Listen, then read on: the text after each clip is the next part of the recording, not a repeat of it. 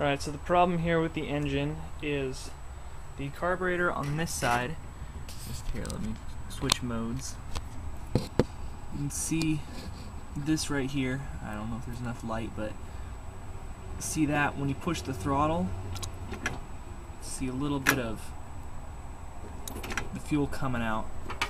You go over to this side, right here, push the throttle, nothing happens. So this side right here isn't getting any fuel from the carburetor into the engine.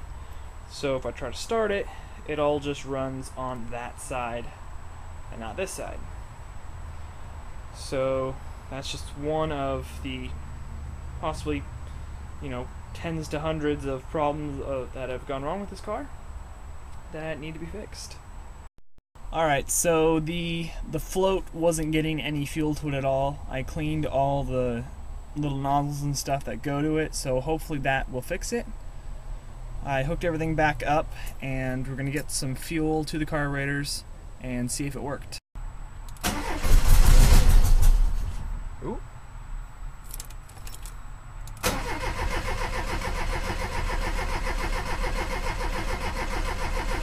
Let it build up get some fuel in there.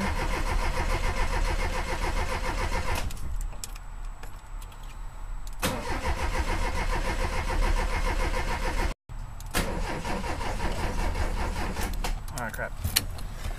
Let's see if it's getting anything now, at least. Oh, shoot. That was Just to get the thing running, I forgot to hook up one of the fuel lines and so as I was cranking it over, it just was spewing fuel all over the place. So luckily it didn't start, because um, that probably would have been really bad. And yeah, that was pretty dang stupid. And now I might need a jump later because it was starting to die. But I don't know. I guess we'll get it figured out. Luckily I didn't blow up. Picking everything back up properly this time and letting every bit of gas evaporate that had spilled so I didn't blow up. I restarted the engine and it started running almost like right off the bat. And I got out, it was idling, and found out that now instead of only running on the right side, it's only running on the left side. And that's because the left side's working now, but in the process of getting it working, I flooded the right side. So I took the carburetor off, took the spark plugs out, and right now I'm letting it all air out. So hopefully, once I get that all back together, they'll all be nice and the way they're supposed to be.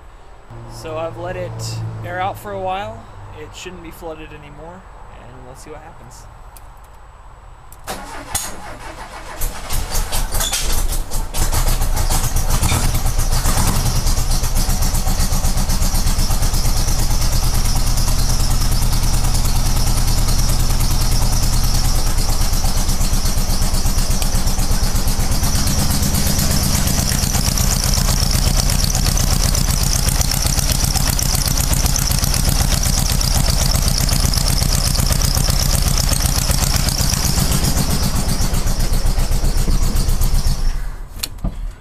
Alright, and now to see if it was both sides. Alright, that side's warm. Cold. Dang. So it looks like, I don't know, something is wrong with this one internally because you can see that.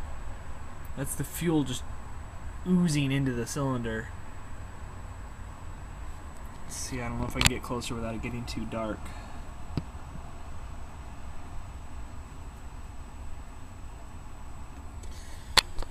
Anyways, I'll have to be taking that one out and see what's wrong with that one now.